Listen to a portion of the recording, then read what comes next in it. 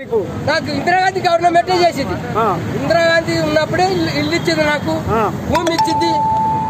రైతు పేదలకు ఇండ్లు కట్టించింది.